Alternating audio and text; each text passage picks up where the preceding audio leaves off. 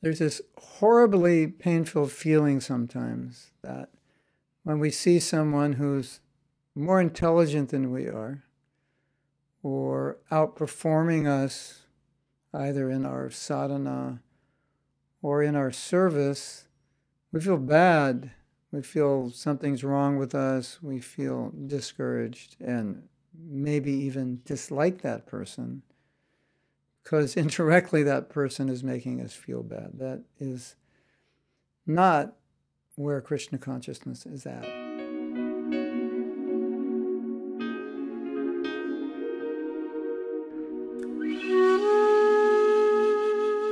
As we know, Prabhupada said the gopis are envious, but envious in a good way, that they take inspiration from one another. Oh, I'm envious of you. You're doing better than I am. I want to do better than you because I want to please Krishna. That's my motive. So the fact is that the people who make us feel bad because they're so good could be a great inspiration to us if we learn to just be satisfied with who we are. Who we are is who we are, and that's who we are, obviously. And by divine arrangement, past activities, we're all in different positions. And the greatest travesty is to not take advantage of our abilities and intelligence that Krishna specifically gave us in order to serve him by focusing on the abilities and intelligence of others that we don't have and lamenting that we don't have them. And then often when we do that, we don't take advantage of what we do well.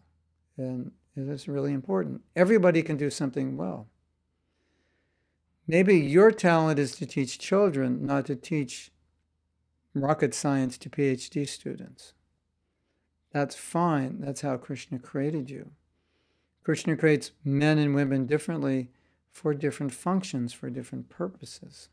And even amongst women and even amongst men, he creates us differently, and that's good.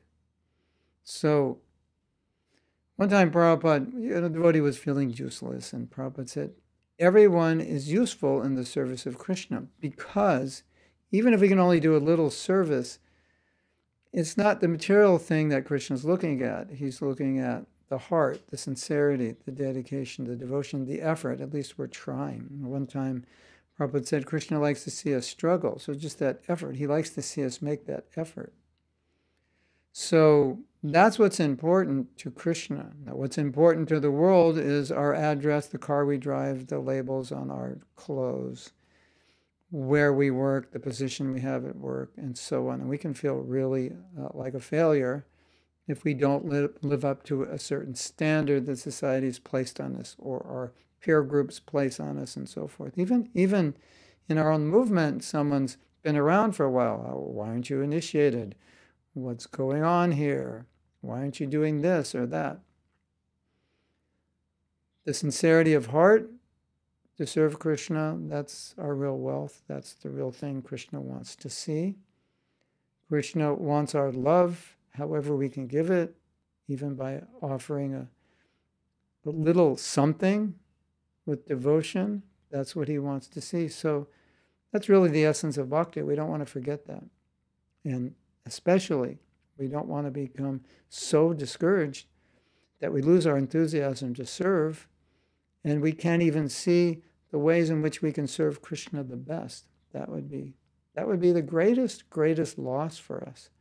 Because there's so much all of us can do. And I've seen so many devotees do so many amazing things just by focusing on their inspiration. Not focusing on how big it will be, how successful it will be, but their inspiration to serve. And then you may know that Srila Bhakti Siddhanta Saraswati Thakur said, if I could make one person Krishna conscious, I would consider my whole mission a success. So when, when we have inspiration to go out and do something, we should always think if one person benefits, that's success. I may distribute hundreds of books. If one person reads that book, that is success. If one person chants Hare Krishna, that is success. That's what we're looking at. Hare Krishna. All glories to Srila Prabhupada.